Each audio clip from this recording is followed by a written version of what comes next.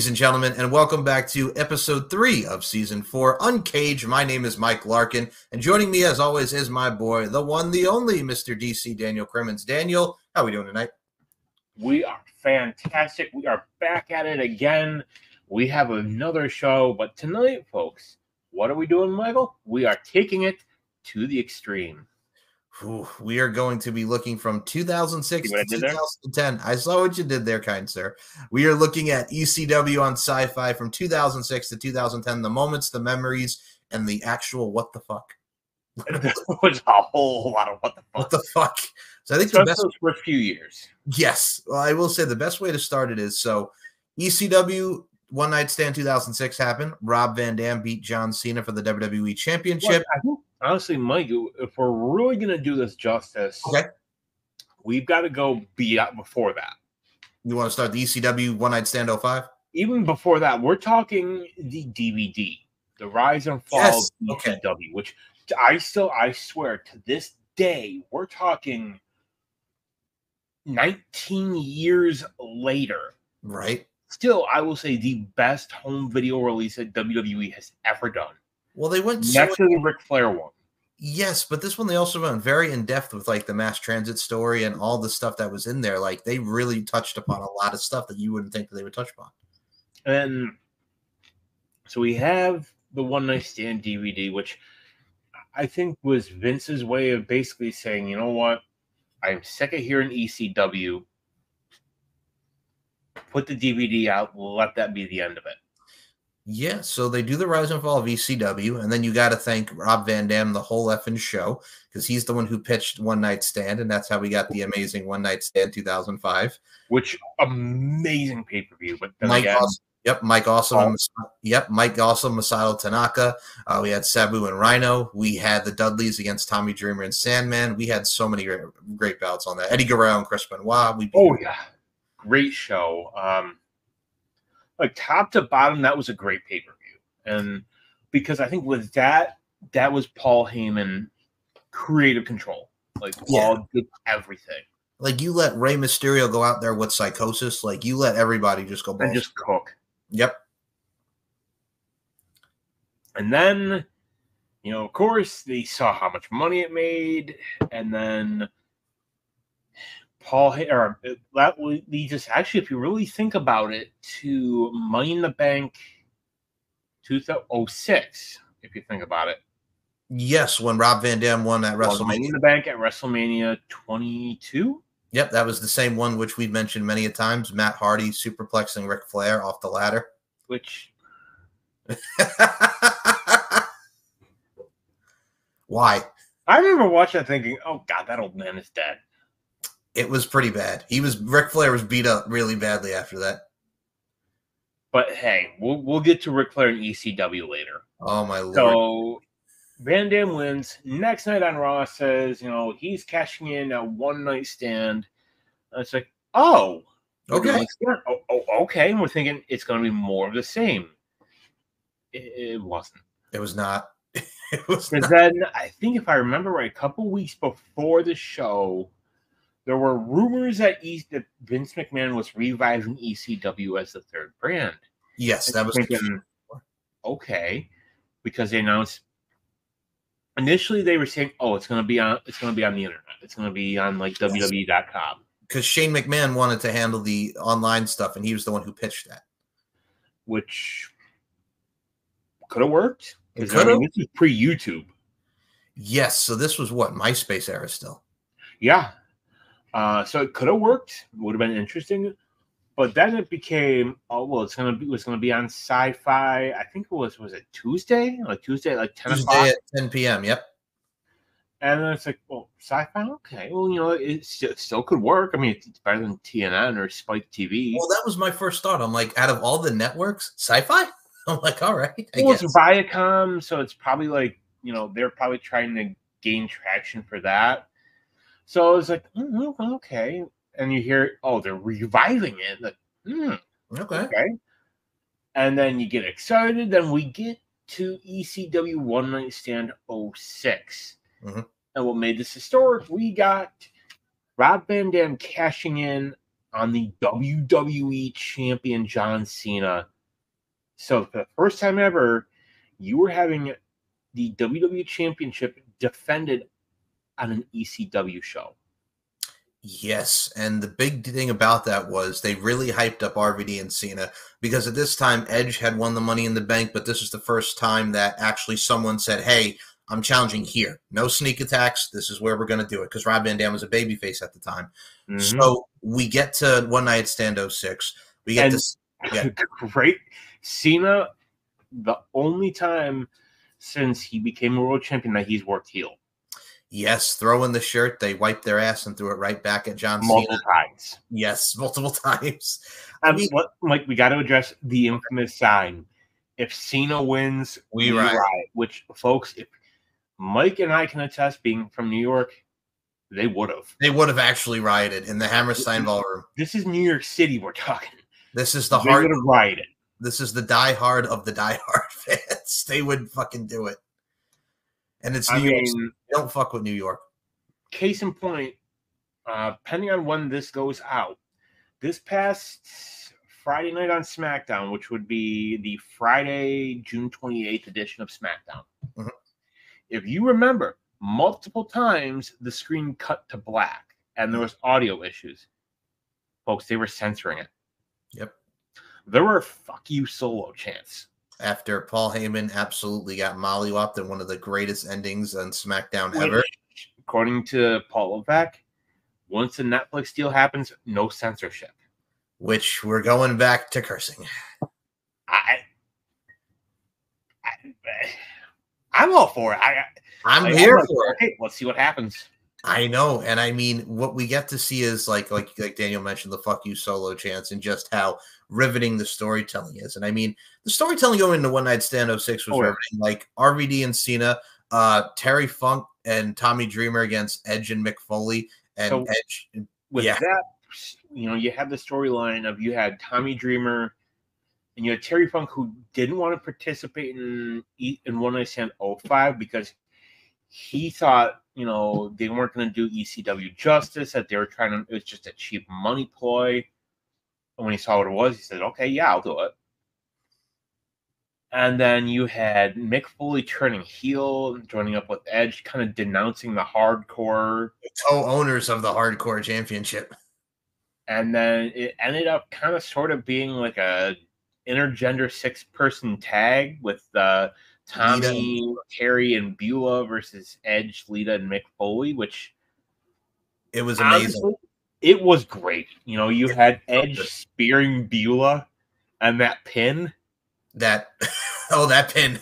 That pin. You know the one I'm talking about. I know the one you're talking about.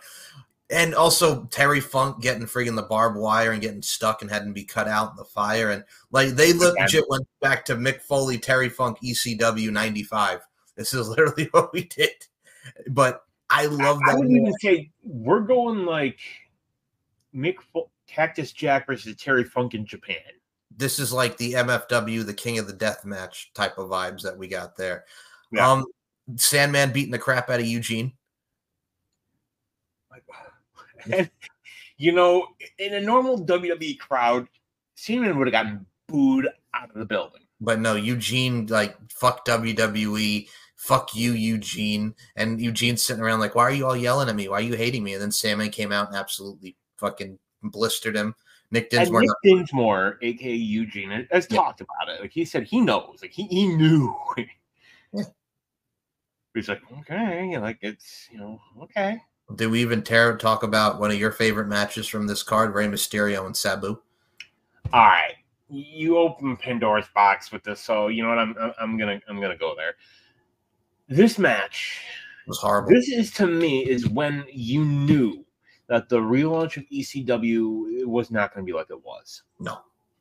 You know, great match up until the end. You know, you have uh you have Sabu putting a t- you know straddling a table between the guardrail and the ring apron, and then you have him.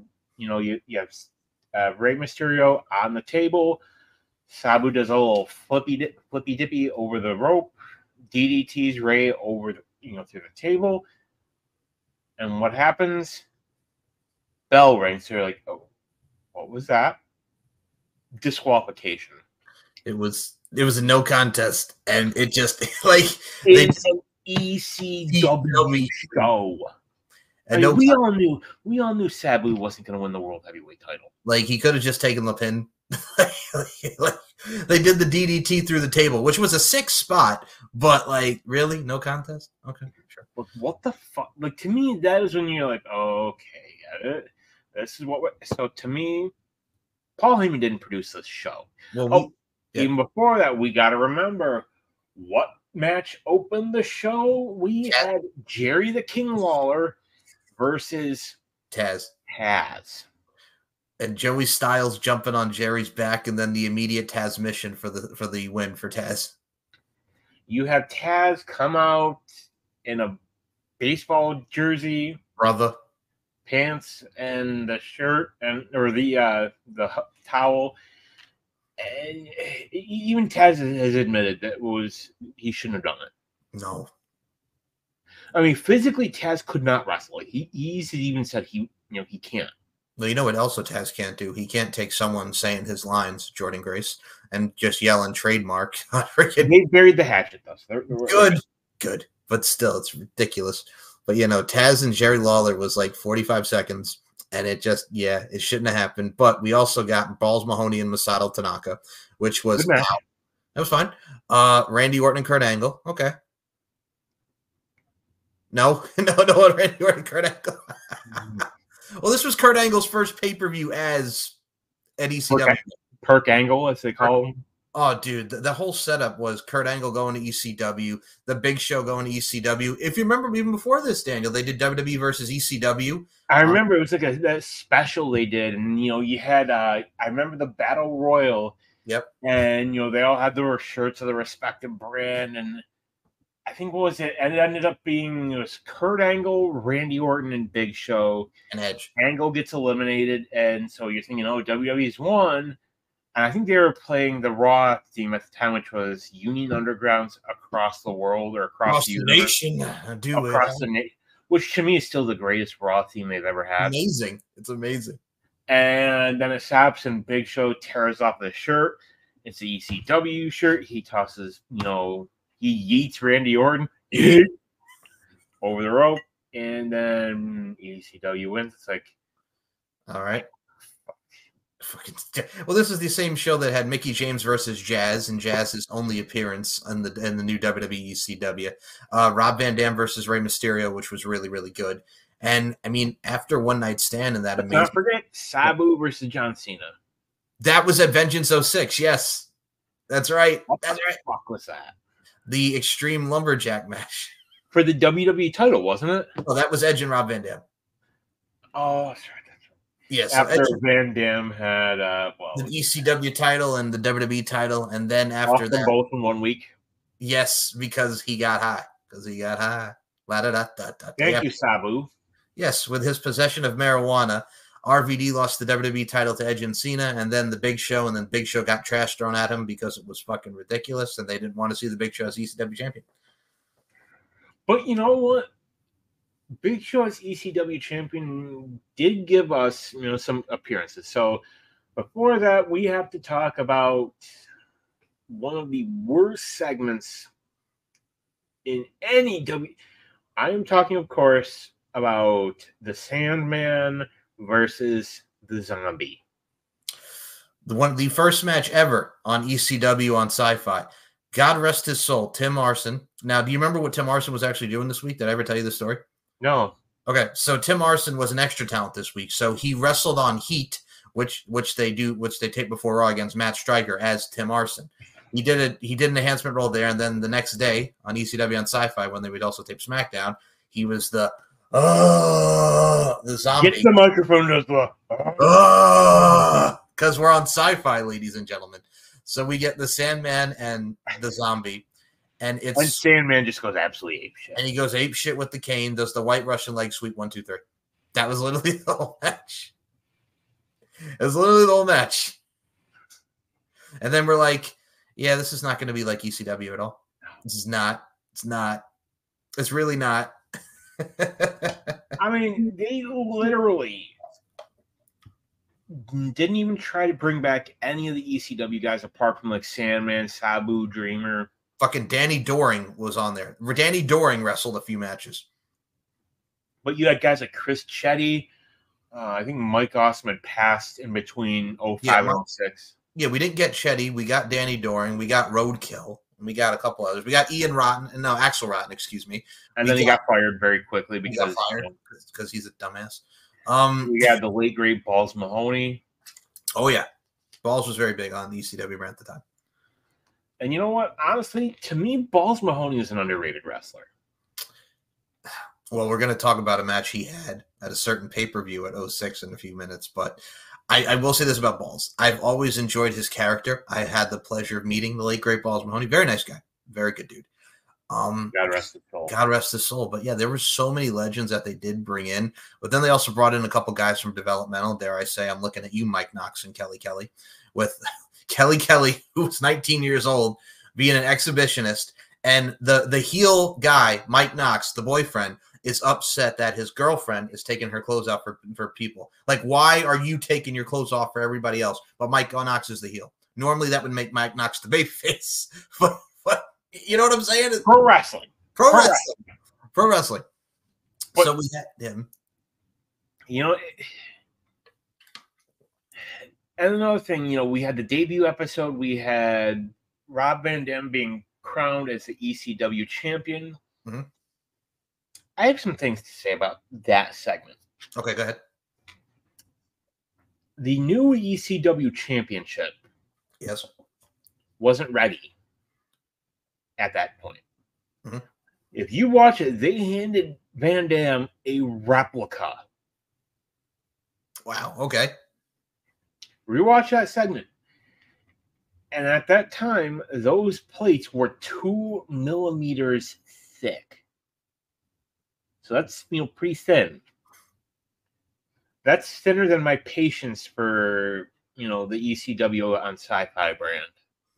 Which, with also, also your patience being tested here, Mr. Daniel Crimmins. I mean, we did get some good debuts. I mentioned Mike Knox, but we did get the debut of CM Punk and his and promos. you know we had some really solid we had uh Justin Credible you know was on there as well um we had Ric Flair Ric Flair and the Big Show for the ECW Championship. One, was not a bad match that was one of the best matches of Big Show's. you had ECW. Ric Flair the most anti ECW guy in the world in ECW like what It's like, what what are you talking about? Like anti ECW, like. But that's my thing too. Like Ric Flair and the Big Show had a great match. You had the Undertaker versus the Big Show, and he said the Undertaker was for on the ECW championship the ECW Championship. Uh, do you want to comment on CM Punk? Like I mentioned, like this was his debut as well. We got to see. I remember the vignettes, and then we had we had CM Punk versus Justin Credible in Hammerstein, if I'm not mistaken. I was there for that live. That was a great match. and you know what? Where it all started with uh, good old Phil Brooks. Can I just say one thing? This was also the same night as Big Show and the Batista and Batista, where everybody was chanting "Change the channel." I was there. For, that was the ECW title, wasn't it? Yes. they were chanting change in the channel because it was really, really bad. And they crapped all over that. And I mean, I remember that. Like the, the the crowd was just no. no, they weren't having it Why would you run that match in New York City? because reasons to get a number because Batista, world heavyweight champion. I, I don't know. I don't know. But we did get Big Show and Sabu at SummerSlam 06, which I got to say, not a bad match as well for the ECW brand. No, not not not terrible, but like you could tell at that point, Sabu, you know, all of them, it- they were just in it for the money. Yeah, and I mean the ECW things also got inter intertangled with a lot of the storylines. Like Big Show had to replace the Great Khali at the Great American Bash 06 because of his liver enzymes, that being the Great Khali elevated liver enzymes. And we got Undertaker and the Big Show in one of the worst uh, Punjabi prison matches ever. That whole match was just terrible. There's never been a good Punjabi prison match, never, never. ever. think There was wasn't there one with with Jinder Mahal? And Randy Orton when the Great Khali came out and helped Jinder Mahal. Yep. I mean, the look of it is cool, but it's like it's obvious. It's not bamboo. It's not bamboo at all. but you know, we had to find a gimmick for the Great Khali's signature matchup. And I mean, we this time period also gave us not only Big Show and Sabu and, and all that, but Big Show teamed with the McMahons to take on DX and the handicap Hell in a Cell, where Vince And we had Vince's head going up Big Show's ass. his bloody ass, not even just his ass. That- That's like hepatitis right there. Like Hepatitis. hepatitis. Yes, I see what you did there. I see what you did there. And then you just had ECW actually get killed in the Team DX matchup with Team Rated RKO and all that group.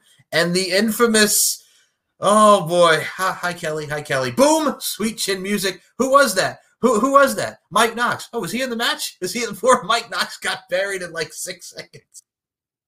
He got buried in six seconds. Poor Mike Knox. And then we had, you know, that pay per view, which we're not going to talk about. Hold on, hold on. You, You made forgot, me watch. you forgot one other part of that match. Remember when Shawn Michaels he's facing Nitro, and then he does the infamous put the arm around Melina, and then he goes, ah, that infamous spot.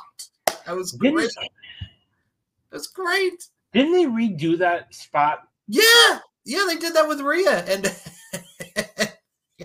yes, they did that with Rhea and Seth Rollins. That's who it was. Yes, that was so it, was, good. it, was, it was Survivor Series, wasn't it? Or was it I before so. that?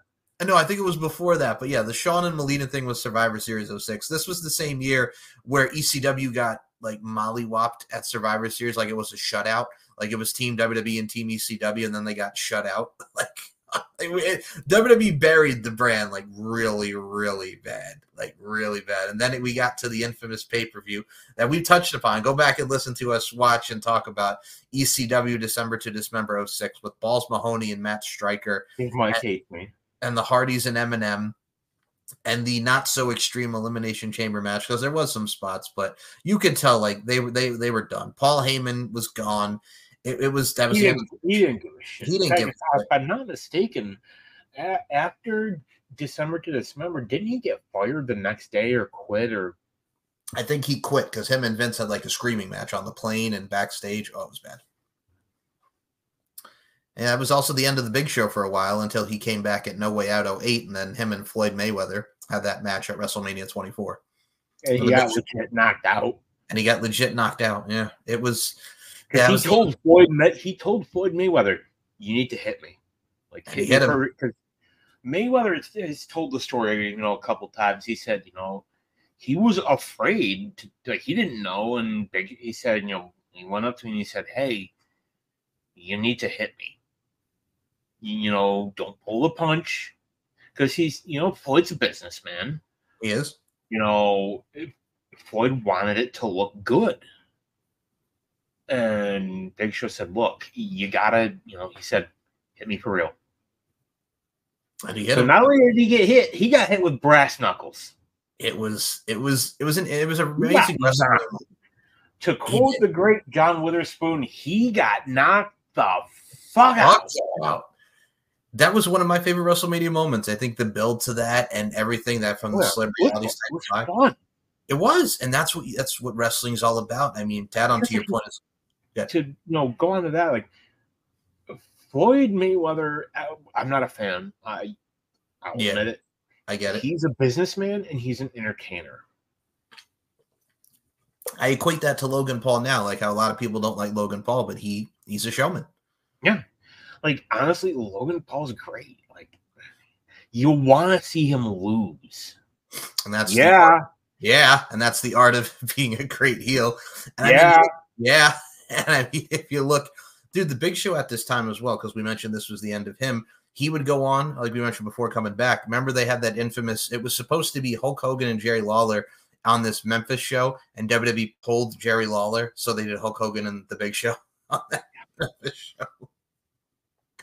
Yeah, we were originally Yeah. gonna, we were originally going to get Hogan and Lawler, but Lawler said the WWE said no, you, Jerry, you're not going to work your show in your own hometown. No, you're not going to do this. And after this, That we was the right call. it was absolutely. And then I mean, after this, Bobby Lashley is the new ECW champion. We start two, Okay. which we start with 2007, him and Test, and that, and that God rest his soul in that feud for the ECW championship, which was god awful. And then we get to the infamous him and Umaga in the Battle of the Billionaires. My man Bobby, go get him, Bobby. Umaga. Umaga. Shane coming in doing the Van Terminator.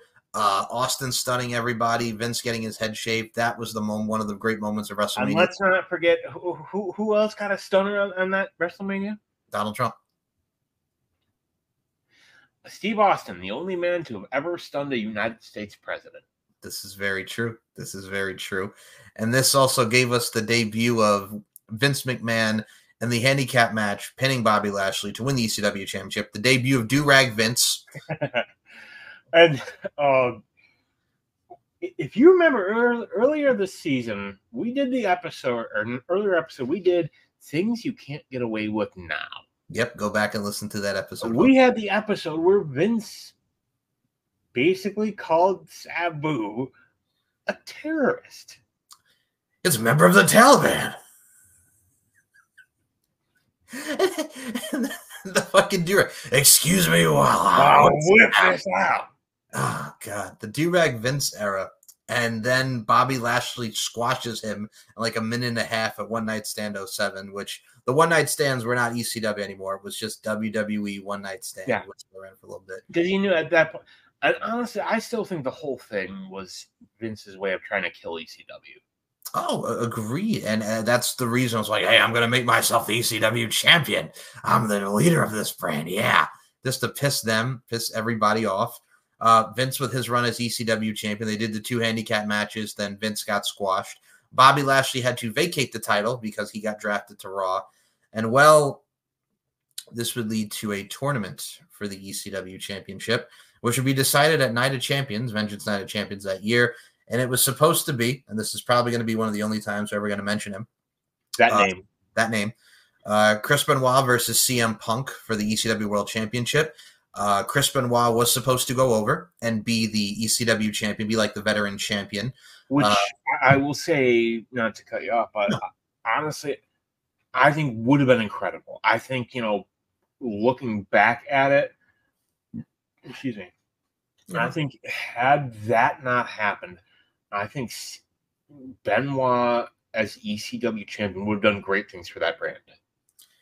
All right, so I will follow back with you on this because Kurt Angle has originally talked about this.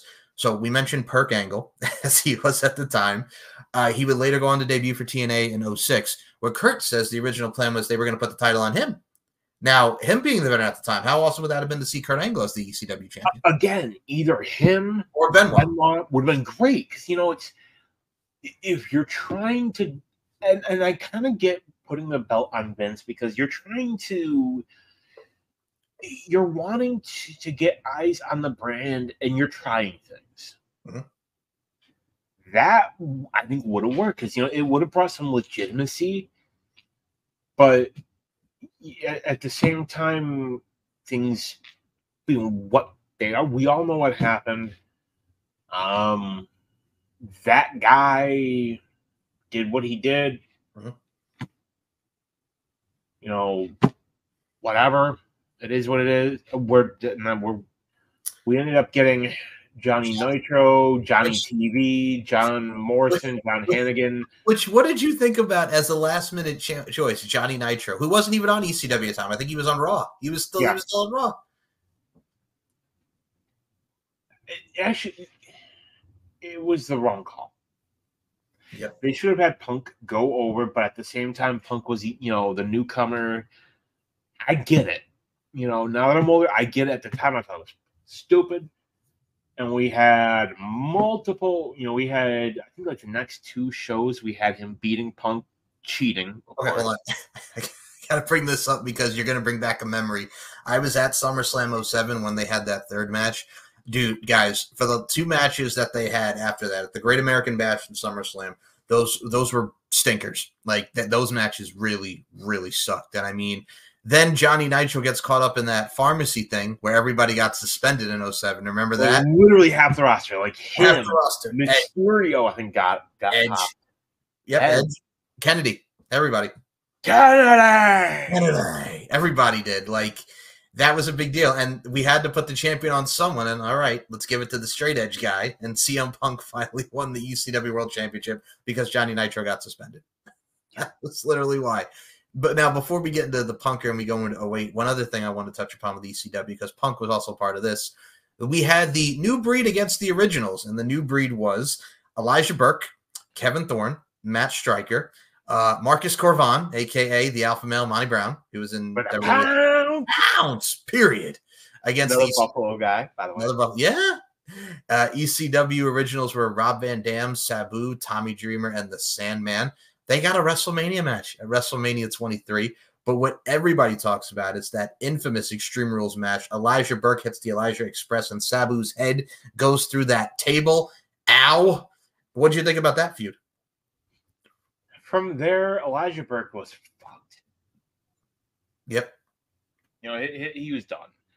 But you know what? Hey, now Sandman can say he's undefeated at WrestleMania. This is true. And I mean, the only other tweak that we had was the ruse that CM Punk turned heel and joined the new breed, only for them to like implode within themselves. I thought that was kind of a ridiculous touch, but but okay. And then CM Punk would go on a feud with Elijah Burke, um, who, out, out of everybody, he did that Q and A. He's like one of the worst matches he's ever had was with Elijah Burke. I'm like, I've seen that match. Like those matches were not bad. I don't like. I'm not. What the hell are you talking about? I don't know if he's being serious or if, Or I mean, if he's just being CM Punk. Well, that that is true. If he's being CM Punk. So speaking of CM Punk, he is our ECW champion at the end of 07. He has his title defense against the Miz at Cyber Sunday. Um, he the big thing that really came out of that run was he feuded with Chavo Guerrero, and then Edge helps Chavo Guerrero win the ECW championship. Ch- Ch- Chavo Guerrero is the new ECW champion.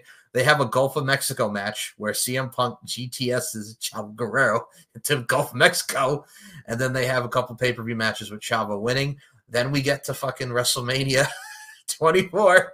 Chavo Guerrero against Kane for the ECW Championship. Literally like eight seconds. Eight seconds. the ECW Championship. Kane is behind Chavo. Choke slam one, two, three. See you later, Chavo. See you later, Chavo. And Chavo And has wasn't even Kane wasn't even on ECW. He was on Raw. no, he was on was no, was he on SmackDown? No, Raw- he was Raw- Raw. Okay, whatever. One of them. Yes, I think you're correct. But yeah, no, I think Kane, I forgot even how he won. I think he won like a number one contenders battle royal or whatever the fuck. But Kane Yeah, was I in, think on like the pre-show or something. yeah, but Kane was in this match, and that was the big thing. Kane was in this match. He won a battle royal, like Daniel mentioned, and then just choke slam one, two, three. He comes back from high. No pyro, no, no pyro from Kane, no pyro, and comes just to the crowd. comes through the crowd because Kane would do that. It was bad. It was it was bad. Then they had the rematch, and then they feuded, and then Kane is the ECW champion. Him, I believe it was him, the Big Show, and uh Mark. No, it was him, Big Show, and Mark Henry. Yeah, for the uh, Vengeance Night of Champions, and then Mark Henry wins his first ever World Championship in WWE, the ECW World Championship, and he's and then, then we get that god ugly, the ugliest world fucking title that I have ever seen. That silver monstrosity. Yep, that was the debut of the Silver Monstrosity. well, it's also a debut of a. we got Tony Atlas. oh, we got Mark Henry and Tony Atlas. What did you think about putting Tony Atlas with Mark Henry as his I manager? Me too. It was he was funny. He was you know, good. having met Tony Atlas, he's good people. He's good people's. yes, he's he's got a weird fetish, but he's good people. Mike, we're, we're on the wrong platform for that. Yes, we are. But oh, yeah, Tony There's- Tony likes to be There's other sites where we can refer to that. Yes, Tommy. All you need to know, folks, is Tony Atlas likes to be stepped on. That's all you need to know. But Mark Henry is the ECW champion. Um, he has title defenses against Tommy Dreamer. Uh, he beats the holy hell out of Colin Delaney, who was their version of Mikey Whipwreck. Fucking Colin Delaney, good God, who was like the Mikey Whipwreck of the And he's still wrestling. He does. He's been on WWE. He got squashed by the Bludgeon Brothers years ago. He's he's. I remember the scream heard round the world. Ah! And I- I remember seeing interviews with with uh, Jon Huber, the late great Jon Huber, Brodie Yeah, Lee, that's cool. And hearing him talk about it, like he, even Rowan has talked about it, like they heard it and like they heard it back and immediately they laugh every he would laugh every time he hears it. He screamed. He let it be known he was in pain, and I love that Colin Delaney's still wrestling and still doing his thing. He looks in great shape. He doesn't look like he used to, like a, like a twig. He he put on some muscle and he he looks in great shape, eh, which I'm happy because you want to see people do well. Um, You know what? They, you know what? Honestly, they need to do. what? We have, you know, we have Rowan back as you know part of the Wyatt Six. Yes. You know where I'm going with this. Okay. Recreate it with the Wyatt Six. For Colin Delaney, I know where you're going. Yes. I went there. Oh man, so yeah, we go from Mark Henry to Tommy Dreamer and uh, their feud. Mark Henry beats Tommy Dreamer, and then we get to the ECW scramble where Mark Henry loses the ECW championship to Matt Hardy. It And, was wonderful. Wonderful! And then Matt Hardy is the new ECW champion, beats Mark Henry on pay per view. Matt's doing his thing as ECW champion. He then loses at Royal Rumble 09 to someone who had just debuted at the time, the All American American Jack Swagger, who came out originally no shirt. He didn't, he didn't like the hat at that time. He did not. He came out with no shirt. Then he all of a sudden he had a singlet, and they pushed Jack Swagger to the to the moon. and in his first few months in WWE, he's the ECW champion, beat Matt Hardy. So, what did you think about how we transitioned from Mark Henry to Matt Hardy to Jack Swagger? No. Well, did you even like Swagger at the time? Because he would they they were pushing him hard. You know, the, it was the thing like they Vince had pet projects. Mm-hmm. Excuse me. Yeah. And you know, you could tell if someone was getting, you know, overly pushed, like, you know, like you're gonna like them, you're gonna like them. Oh, one of Vince's pet projects. Yep. Yeah. Hey, that's pretty much what it was. And I mean, I oh, wish Dijak was a pet project. Oh man, poor poor poor Dijak. I know he's he's hmm. gone now. And yeah, they let him go. TNA sign him. I'm not even going to say EW because you brought this up to me. Like, just go to TNA, dude. Because hmm. I here's why people want him to go to AEW. Keith Lee. That's why. if Keith Lee comes back. If Keith Lee comes back, I'm like, just go. He can, dude. He could have some great stuff. He could do some X Division stuff. He can. He could do some stuff in TNA. New Japan. New Japan. Yeah, just yeah. Oh, Dijak, such on, on you know untapped potential. That dude was so good. It's just it's a shame. It really is. Um, speaking of a shame, we we mentioned Jack You Swagger. know, let, let him, you know, let him go after Mustafa Ali and get some retribution. You, you're on point with these quips today, man. You are on point with your quips. I like your style, Daniel Crimmins. So, speaking of style, Jack Swagger's the champ. This was also around the time period where Kofi Kingston made his debut in ECW in 2008. Um, From go, Jamaica. Vince McMahon has even said about those segments. Kofi's talked about it. God, these are horrible. These are barely passable. And Kofi's like, I can hear him literally burying my vignettes. That's what he said. I can hear Vince burying my vignettes as he's watching them. Like. Kofi's even said, I'm not Jamaican. And yeah, I'm, I'm from Ghana, West Africa. I don't have, I'm not Jamaican. I lived in Boston. Like, what the fuck do you want from me? So Kofi is the Jamaican character. Jamaican me crazy, Kofi. Fucking Mike Adamle was also on commentary at this time. Jamaican me crazy, Kofi. Jeff Harvey. J- Jeff Harvey. Yes, he was so bad. Mike Adamle. And then he became the Raw GM. God rest his soul. 'cause I think he passed too. No, he's still alive, I think. Is he? All right. Now you see, now you're going to make me put up the whole thing because that's going to bug me now. Poor Mike Adamle. No, Mike Adamle is still alive. He's uh, 74 now. I thought didn't he have wasn't there some issue? He had CTE. He had epilepsy, like I do. Yeah. Yeah, he had CTE. That was what got Mike Adamle.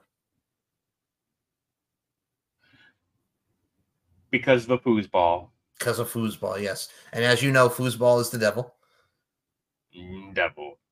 Devil. So we got Mike Adamle on commentary. Kofi Kingston debuted. This is when they were also starting to debut new talents and bring in new talents over there. Like we had Shelton Benjamin on ECW for a little bit. Uh, Lance Archer, better known as uh, Vance Archer, now Lance Archer, Lance Hoyt, whatever you want to call him. Woo woo woo. Zack Ryder would debut on ECW on Sci-Fi, starting the Long Island IC Uh, character. major talent. him and the Major Brothers. I see what you did there. Him and the Major Brothers. Him and Kurt Hawkins were on with uh, Edge, and they are also doing some stuff on ECW. Um, yeah, there was a lot of people coming through that came through ECW that started there. Like a lot of people don't even realize. Uh, Trent Beretta and Caylen Croft, they were the Dude Busters at the time. The Dude Busters is so such a horrible tag team name. uh, we had Tiffany, aka Taryn Terrell, as the ECW general manager. The former Mrs. Galloway. Yes. Um. Now, here's one I don't think. Do you remember when he was on here for like two or three weeks? The one and only Mr. Gavin Spears, uh, aka Shawn Spears, the chairman. He was on ECW on Sci-Fi for a little bit. Uh, He was a per he was a perfect 10 talent, if you ask me. I would say so, my friend. You just I, I asked him what On tonight. He was, man. You dude, you are on tonight, and the fact that his name was Stan, buddy. What's your name, Stan? See, I just kicked Stan. Yeah. yes, Shawn Spears as Gavin Spears was on ECW on Sci-Fi for a little bit. Um, all right, I got to bring it up. Shannon Moore as the reject Shannon Moore. I'm the Prince of Punk, and I'm bringing sexy back. And then CM Punk just looks at him. You're a poser, and he smacks Shannon Moore right in the fucking face. Fucking Shannon Moore is the reject, ladies and gentlemen. Yes, that was a thing. Uh, the Great Khali was on ECW for a short time when him and Daivari were on ECW, which also gave us Daivari and Tommy Dreamer and the Great Khali from ECW December to Dismember 06. Yeah, we've had some people come and go on ECW, brother. Oh my And lord. let's not forget, Mike, Yes. knock knock. Okay, we're gonna go here. So this is around. The, we're, we're going here. So this is a 08 and 09, which we're gonna get dive into more of. This is the time, folks, of the ECW Superstar Initiative.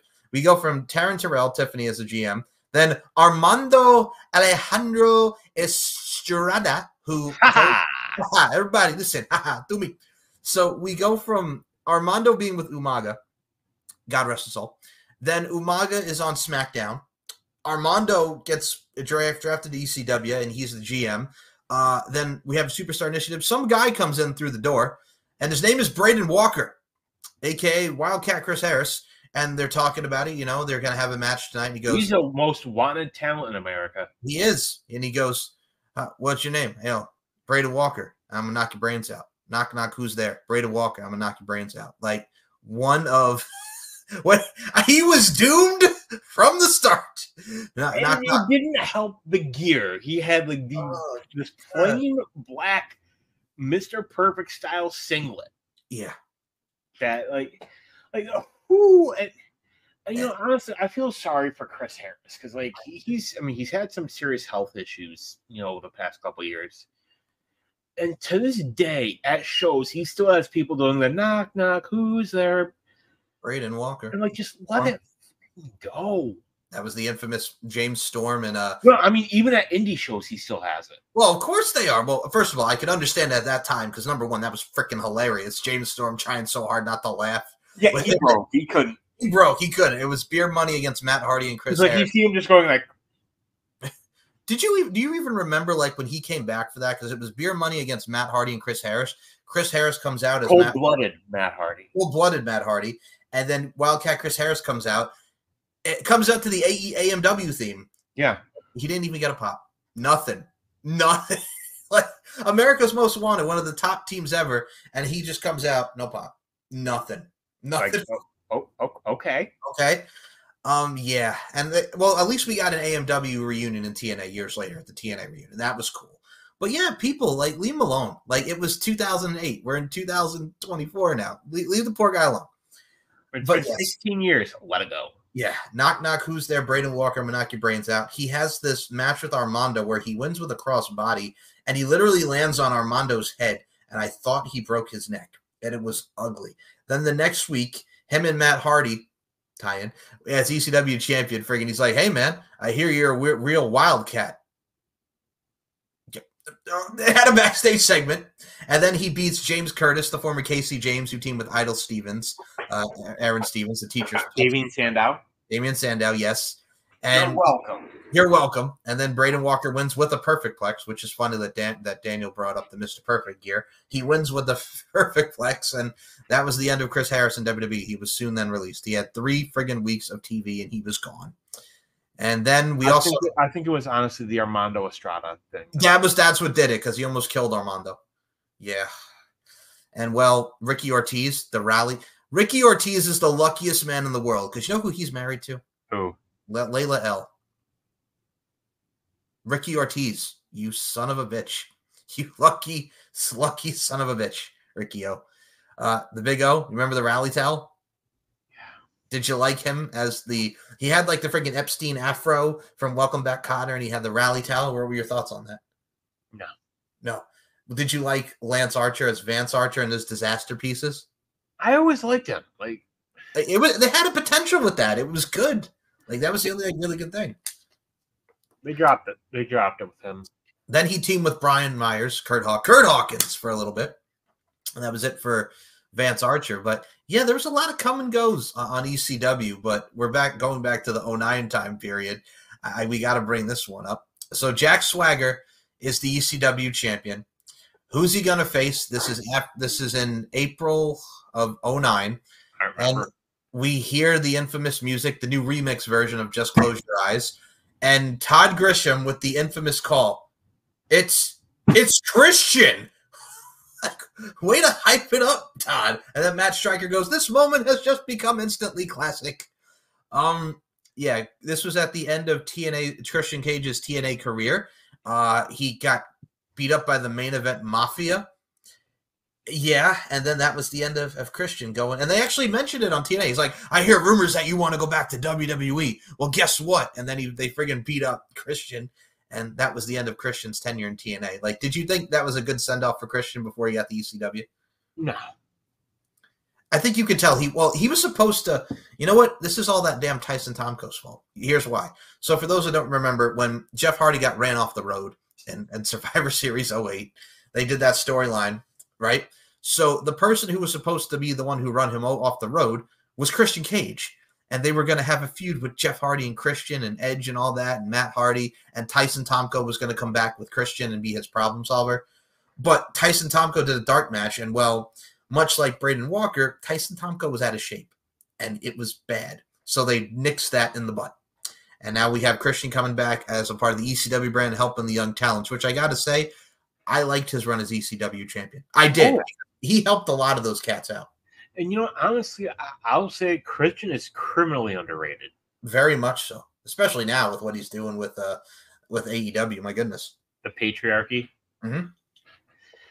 He, I, I look at somebody like Christian. This is what Jericho should be doing.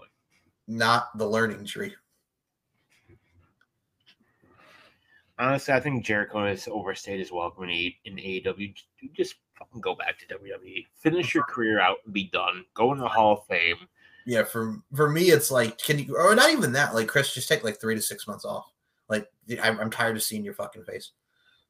Chris Jericho has had gimmicks in AEW like Big Show has had heel and face turns. and and just he kills these young cats. Like Chris, you've become what you hated. Like you hated Hogan and all them held people down. You're that guy, Chris. You're that guy now. Really, like who who has ascended to that next level, like at world title contention? Nobody. Like nobody. I mean, you've got Ricky Starks, who, well, you know, Who's probably gonna go rumors are saying that he's turned down multiple. Honestly, we know where Ricky's going. Well, also the fact you know he's going to go to WWE, but number two, like he didn't want to feud with Big Bill. He can do that quickly. He's tired of the fucking tag matches. Like he's like, I'm, he's like, dude, whatever you're giving me, it sucks. Like I'm tired of this fucking place. I want to get the. He's like Ethan Page. Like Ethan Page was like Conan mentioned like the text messages she got from Ethan Page. He's like, I fucking hate it here. I want to get the fuck out of here. Ricky Starks is at that point now. I fucking hate it here. I want to get out of here. That's where he's at. Uh, but yes, Christian Cage comes back uh, wins the ECW championship from Jack Swagger. Um, Jack Swagger, Christian, and Tommy Dreamer all feud for the ECW championship.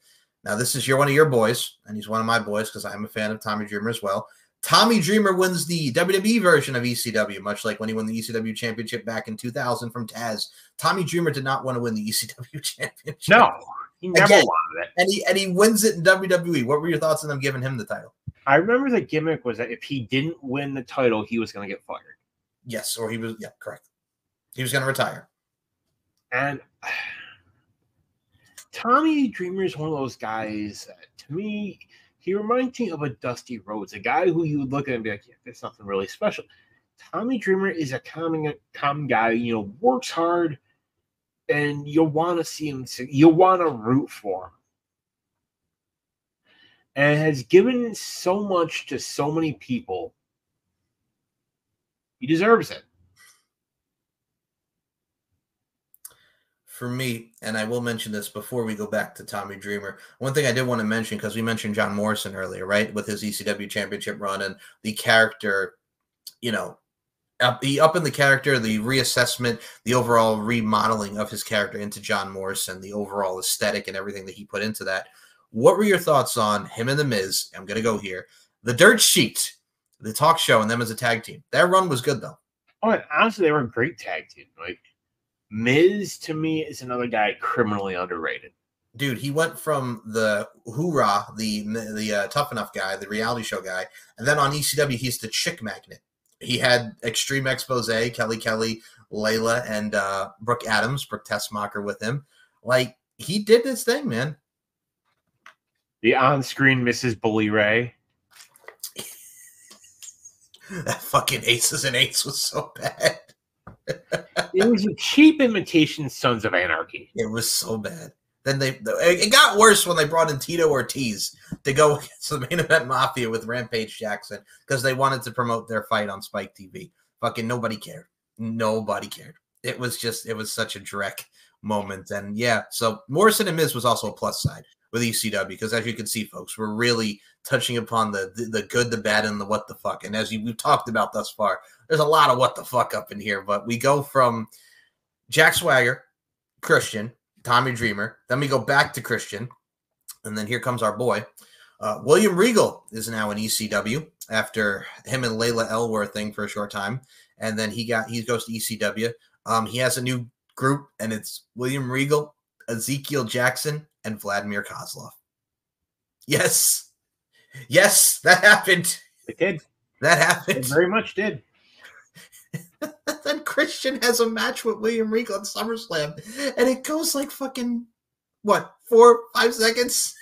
like, they the time, and he went like fucking five seconds. Like you squashed poor William Regal in five seconds on pay per view. It was I like don't, I your body. don't understand for the life of me why Vince hates William Regal or why Vince hated William Regal.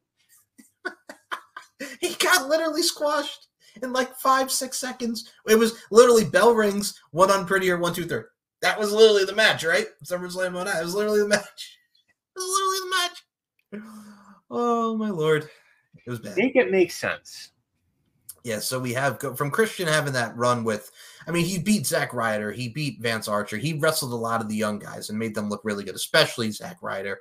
Um, we mentioned Tommy Dreamer. Zack Ryder would be the one to beat Tommy Dreamer and Tommy Dreamer's last ECW match. And yeah, that was a great speech. He brought his kids and into the ring and he got to hold them and kiss them and love them. And he spoke from the heart. If you've not seen that speech, it was amazing. And then Tommy Dreamer would go on to TNA and do fucking EV 2.0 and that god awful TNA and ECW. Oh, ah, yeah, that was that was the end of Tommy Dreamer WWE. Then TNA. Whoa, I don't mean to say it like that, but it was bad. This was going towards Hogan era, Monday Night Wars, TNA WWE. Yeah, so that was the end of Tommy Dreamer. Zack- Monday Night Skirmish. the skirmish. Okay, I gotta mention this. I don't know if you remember this. So Zack Ryder, also a thing. He has Rosa Mendez as his manager, and he's feuding with the Hurricane. They brought the Hurricane to ECW. He started as Gregory Helms, and it's like, wait a minute, what just happened? The superhero. I'm like, because Gregory Helms wasn't the Hurricane at the time. He was just Hurricane Helms and Gregory Helms, but with no superhero powers. He was just a dude. And then they finally brought back the Hurricane. What were your thoughts on the Hurricane coming back to ECW? Yeah, yeah, it was Yeah. what it was. I mean, they put Paul Burchill on ECW, and he was actually Paul Burchill, the Ripper, Paul Burchill, not the pirate, and not wanting to have sex with his sister. Vince McMahon, you sick son of a bitch. You The guy Vince who wanted to have a storyline where he was the father of his daughter's child. you found a way to get incest into a WWE angle. Congratulations, Vince. And people who somebody complained. You know somebody complained. It was either USA, it was somebody complained, and then you notice that got dropped really quickly. I mean, we know uh, there are people that have said, you know, oh, the, the first it was going to be Vince, you know, it was going to be the father of Stephanie and Triple H's first child. Yes. Then it was going to be Shane and Stephanie. And then Chef Stephanie. This is not Game of Thrones, people. No, and it's the same thing with Paul Burchill and Katie Lea. Like you could have just had okay, they're brother and sister tag team. They're heels. They don't have to be like that, like like like that, like you know. But they they went with that, and then like it was quickly dropped. Like they were just brother and sister. Okay, here's Paul Burchill and Katie Lea. Then on ECW they had that, and then they briefly feuded with. As another one of the early stages of ECW, we had Alicia Fox. She was the wedding planner at Edge's wedding and they kiss, and then all of a sudden she's repackaged, like we mentioned with John Morrison. She's repackaged, and she's with Steve Lewington, a British wrestler who you guys may remember as DJ Gabriel, the Alex Wright of ECW. He comes out dancing, and he's wearing the fucking leather jacket and the sunglasses, and him and Alicia Fox are a team. That happened. Do you, do you remember DJ Gabriel? I do not. So yeah, he was a UK wrestler at the time in OVW. Steve Lewington, and he. You remember Alicia Fox in ECW or no? I tried to block her WWE tenure out. Wow. Okay. Well, yes, there was there was there was that. Again, this is a part of the new superstar initiative. Um, we had that. We had my goodness gracious, like we're getting towards the end of this, folks. But like I said, it was this brand, and then after Christian and William Regal, we get Ezekiel Jackson. no, no. Well, excuse me. Before Ezekiel, Shelton Benjamin and Christian Cage had this great TLC match at TLC 09, like this great ladder match. Like Shelton and Christian really had a good match for the ECW championship. Oh, had great match. Watch that because Christian and Shelton tore it down. Like they made Shelton Benjamin a babyface. Like it was good. It was really, really good. That was a plus. That was on the plus side of things. But then we get to fucking Royal Rumble 2010. And oh my God, boy, we got Christian and Ezekiel Jackson.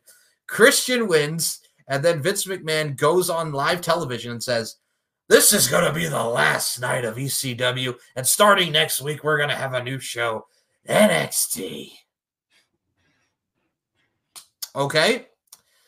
Yeah, that, that was it for ECW. And then we have the Extreme Rules match with Ezekiel Jackson and Christian for the ECW Championship. Uh, William Regal gets involved. There's a whole lot of plunder down under. And then Ezekiel Jackson hits the Uranage through a table. One, two, three. Uh, Ezekiel Jackson is the new and last ECW champion. And good rinse that piece of shit belt. Ah, that, that's all you care about in this is that I get this over. It's ugly. I know it was, man. I know, I know. But yeah, that was the end of ECW. We also had, all right, I'm going to bring this up since we mentioned Tony Atlas because this was the thing for a little bit. The Abraham Washington Show starring Abraham Washington. And now here's your host, Abraham Washington. God, what were your thoughts on Abraham Washington? he wasn't bad. Something different. I mean, they tried some talk show segment with him, but it kind of, you know, it was what it was. It was, yeah. Again, they're they're trying to experiment with stuff. And I mean, you had That's what wrestling is. Yeah, I mean, you had Carlito and Primo there with Miz and Morrison, and you had the, you literally had the Bella twins. This is before I Wish You Died in the Womb. They had Brie as a baby face with Carlito and Primo, and then you had Nikki dressing provocatively with the Miz and Morrison. Do you remember when they like did this brief split with the Bellas? you see that? I'm like, okay, fine, all right. To add to the feud, I guess, with Carlito and Primo and Miz and Morrison. Like, again, this was around the time they were trying to experiment on stuff, but I think you could tell as we're talking about it and running through it, Daniel, like it was going, it, it was going down. it was going down. It was the Titanic. It was really going downhill. And then Ezekiel Jackson as the last ECW champion didn't help matters much. Also, I will say one of the debuts from this time with the Superstar Initiative, Sheamus. Sheamus for a short time before he would go on to Raw and beat John Cena Almost immediately. almost immediately. Uh, I mean, it did give us Sheamus, so that that was a plus. Wasn't too Um, bad, fella. Not too bad, fella. And banger after banger Banger. after banger. So yeah, that, that was that was ECW on sci-fi. I know we mixed it around a little bit, but they're really after from 06 and 07, there's not that much to talk about because it kind of yeah, it kind of dipped. It really really kind of dipped, man. But you know what? Ultimately, uh, this is what I choose to focus on as far as ECW. Because yep. gotta say it like they gotta say ECW. ECW. You know, it, the legacy of ECW. Without ECW, we wouldn't have NXT. No, we would not. That's so, true. It is what it is. I mean, I enjoyed. You know, was it great? No, it could have been worse. Yeah, but it was a launching pad for a lot of superstars, which is the good takeout takeover. The good takeout. Looking at you, Phil Brooks. Yep. It was a good launching pad, and it was a good start, and it, it was a one good takeaway from ECW. Is what I'm trying to say, but yeah, that that was that was it, folks. And I mean, we mentioned the one night stands, the infamous 05 with Paul Heyman's promo, and 06, and just everything that encompassed the ECW brand, and then Vince McMahon. Yeah, did what he did with it, but I mean, we got NXT out of it, which well, I will say this: we got NXT once we got to like 2012, 2013 NXT. I was happy because then we had the game show era of NXT. And I mean, that was kind of, yeah, but it did give us Bryan Danielson, Daniel Bryan, and the Miz feud. So that was plus. And Titus O'Neil. Titus O'Neil falling. And then we would we would have the the trip heard around the world. Oh God! Well, the, the beer keg on NXT, and then the greatest Royal Rumble happened, and Titus just right into the ring. You know what made that? Because you know I, I can't not talk about it. Corey Graves. They replayed it over and over. Well, because you, you're seeing it when it first happened. Like you didn't see it. Like you see him come down the ring. You're like, oh, okay. And then where'd he go? And then you just hear Corey Graves laughing like an idiot. Which, folks, there's a million clips of it on YouTube. Check it out. It's literally the greatest thing in the world. Just right under there. and you hear Titus O'Neil as he hits, like, going like, ah, I don't mean to laugh, but no, he could have really got hurt. He could have got it. What's under that ring? My God, thank God he didn't get hurt. But oh man, that that was that, that was something. Now, what is going to be something is we again we hope you enjoyed our analysis and our rigmarole as we do with this show on ECW on Sci-Fi. Um, that's actually probably going to be one of the next episodes, like in their future episode. You just gave me the early days of NXT. There's a topic for next season. Thank you, Daniel. I like it. I like it. So our next topic, however, is going to be because we had to switch some stuff around for episode four. We are going to be talking about since it is that time of the year, and we're going to have that pay per view next week. The worst Money in the Bank cash-ins and pay per view events for the Money in the Bank. Yeah, we're gonna go worst this time because we've done best cash-ins, and we're gonna do worst. Which I'm looking at you, Baron Corbin. Yeah, I'm looking at you, Baron Corbin. I'm looking at you, Damien Sandow. Uh, I'm looking at. I'm not even going to say Brock Lesnar because I. Well, I will put Brock Lesnar in there too because I was so pissed because Mustafa was that close, that close. And then here looking comes at you, John Cena. Oh, the DQ heard around the world. Yes, I'm looking at you, Kennedy. Otis. I, oh, oh, oh, poor Otis. Yeah, we're, we're gonna get into it in the next episode. Otis. Oh, here, here you go, Miz. Tucky, Tucky, Tucky turns heel. Fucking Tucky. All right, well, we'll get into next week because we got some things to say. But we hope you enjoyed this episode of Uncaged. Uh, Daniel Crimmins, tell us where we can follow you. Piledriver Pundit, TSK, go ahead. TSK is coming back. We will be doing a review coming up of Forbidden Door tomorrow night. Keep an eye out on it. Pundit is coming back, recording tomorrow. I know I keep saying that because, you know, life being what life is getting back in the saddle tomorrow. So keep an eye out. Big things be coming. Big things be coming like Big Daddy V and ECW. Viscera. God rest the soul. Viscera. I will say that. Good old Nelson Frazier. Oh my lord, Big Daddy, calling all cars, calling all cars, and the push boogie- that man in the Hall of Fame. Right. I mean, we got a feud with him in ECW. We got him and the Boogeyman, and the Boogeyman giving Matt Striker the worms. My goodness gracious. Yes, that happened. The uh, world's largest love, love machine, Viscera. The storyline with with Lillian Garcia. He's got to have it. God.